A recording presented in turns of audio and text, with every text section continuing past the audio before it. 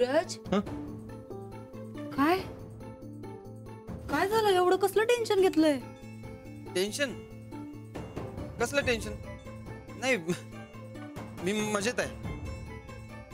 बघून कळत नाही का? आम्हाला समज कळतंय. पण तुला एक गोष्ट कळल तर शपथ. हे बघ. आधीच डोसक्याचा भुगा झालाय. त्यात तू कोड्यात बोलू नकस. अरे असं काय? मामांजी एवढं महत्वाचं काय ते बोलत होते. आणि तुझं फोनवर काय अर्जंट काम होतं बरं? माझ्या जीवन मरणाचा प्रश्न होता. अ, झालं? सोडवला. तुझा प्रश्न आम्ही सोडवला. हा पण त्यानंतर तुला आम्ही सांगल तसं वागावं लागल.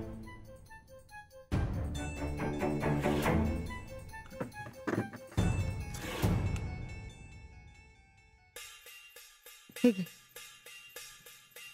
अरे घे. खरंच? खरंच घे. बस. तुझा हाल बघवत नाही र. मामांजींना काय? फक्त त्यांच्या थोरल्या पोराची काळजी. मग तुझी काळजी कोण घेणार बरं?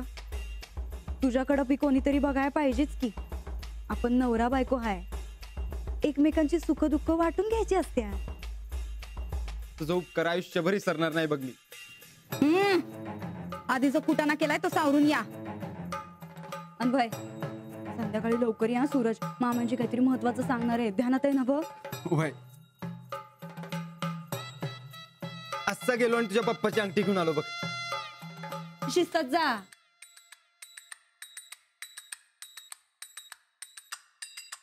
काय डोक्याला ताप आहे.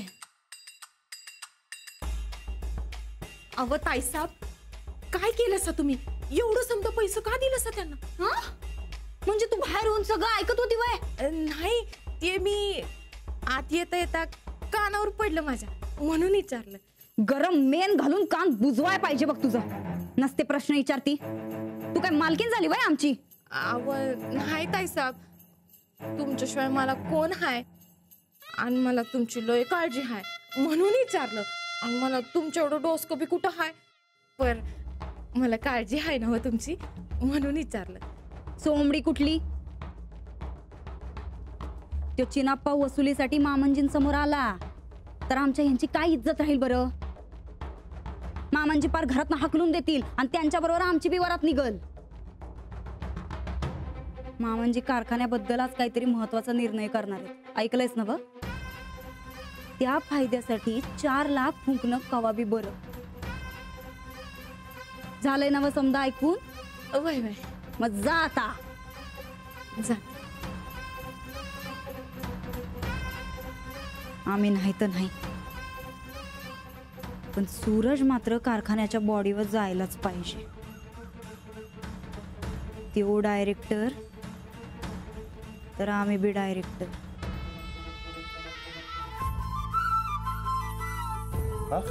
आम्ही तुमच्यासाठी खास येळ काढून आलोय.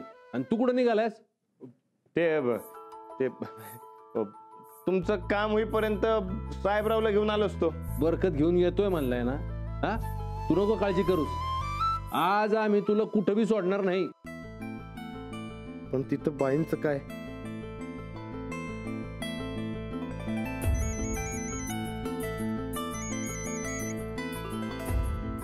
आलो. हा नाही नाही आम्ही गावाकडे आलोय. नाही ती मिटिंग पुढे टाकला. बाईंना काय बी कळवलं नाही आपण. आबा आपल्यासाठी आले. त्यांना सोडून जावं तरी पंचायत. आणि न जावं तरी पंचायत. तिथं बाईंचा कोळंबा. काय मग? आता आज काही काम काढलंय दोघांनी? काम? काम काही नाही ग. राणाजी आणि मी मित्र. आहोत. मैत्रीत भेटायला काही कारण लागत नाही. लागतंय ग बाई. गावात असं भेटायचं म्हणलं की कारण लागतं. आणि काय ग? नक्की काय चाललंय काय तुमचं? आजकाल लईच चहा पाणी व्हायला लागले ते. अगं ते मला चहा आवडतो ना म्हणून. बाकी काही नाही आमच्यात. आम्ही वेगळे होत. खूप उगच कशाला अडकवतीयस ग आमच्या रानादाला? मी अडकवते अगं आज तर त्यांनी स्वतः मला फोन करून भेटायला बोलवलं. आमचा रानादा लई साधा भोळा आहे. असं चार चौघात तुला भेटणं त्याला लई अवघड जात असणार बघ. मग कशाला भेटतात? आता ते तूच सांग मला. मला नाही माहीत. रानात आला लहानपणापासून ओळखते मी. तो नाही येणार का तुला भेटायला. का? नेहमी येतात.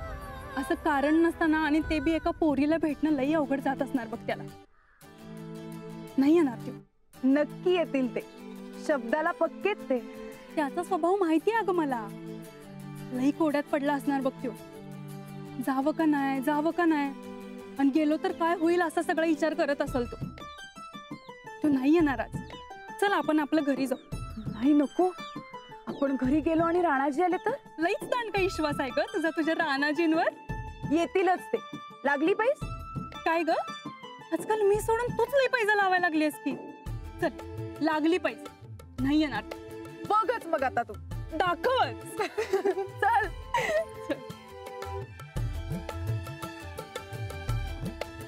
हम्म. काय राणाजी हा? रान राणाजी का? आम्ही म्हणू नये का राणाजी का दुसरं कोण म्हणतंय? नाही. तसं काय नाही. अहो म्हणा की. आबा ते मी तालमीत जाऊन येतो. कशाला? ते वस्तादांना सांगून येतो की आज येत नाही म्हणून. अरे बरकत येतोय साहेबरावला घेऊन. जाताना त्याला पाठवू की तालमीत. तू बस जरा निवांत. अ, ते ब- पण ते अरे ही जी तालमीसाठी आणि साहेबरावसाठी वड लागतीये ना तशी वड बायकोसाठी लागाय पाहिजे. कधी करतोय लगीन? अरे आज आम्ही तुझ्यासाठी हाजीर आहे उद्या आम्ही थकलो तर तुझ्याकडे कोण बघणार राहणार? अरे आई वेगळी पोरं तुम्ही. तुम्हाला गोदाकाच्या हाती सोपून आम्ही कामाला लागलो. तसंच तुमच्या होणाऱ्या बायकोच्या हातात यो वाडा आणि तुम्हाला सोपवलं की आमची जिम्मेदारी संपली. मग आम्ही डोळे मिटायला मोकळं. आबा हे असलं काय बी बोलू नका. मुद्दा काय? लगीन कधी करायचं? राणा तू आम्हाला वचन दिलंयस. या वर्षात लगीन करणार म्हणून. अरे शे तालीम आहे की आयुष्यभर? या वाड्यावर सुनबाई यायला पाहिजे थोरल्या. या सुनबाई अगदी टायमावर आलात. हं? जरा समजून सांगा तुमच्या दिराला. अहो, प्रत्येक गोष्ट टायमावर व्हायला पाहिजे का नाही? अहो, कधी येणार या वाड्यात थोरल्या सुनबाई?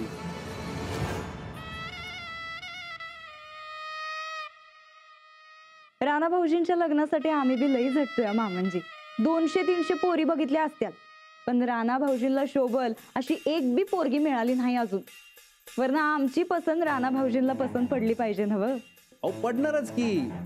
तुमच्यासारखी मायाळू आणि हुशार असल्यावर यो कशाला नाही म्हणल? राणा वहिनीचं ऐकायचं बरं का? अहो ऐकतो की. त्या सांगतील ते ऐकतो.